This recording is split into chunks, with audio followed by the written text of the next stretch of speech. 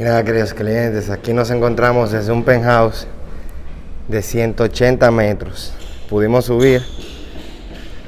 Este tiene vista trasera. Miren qué preciosa esta vista, señor. Miren, desde acá, desde lo alto.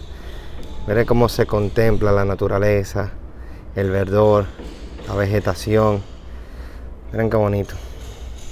Entonces, miren, independientemente de que sea de, de 180, 215, 244. Básicamente este es el espacio. Usted sube, tiene una terraza, lo único que dependiendo del metraje siempre va a ser más grande o más pequeña. Este es el más pequeño de los penjados y fíjese como que era lo grande que es. O sea, una terraza amplia. Este es el, de 180 metros, ¿verdad? Entonces sube y tiene como esta antesala acá. Entra y tiene este family que usted lo puede utilizar como una habitación principal. ¿Por qué?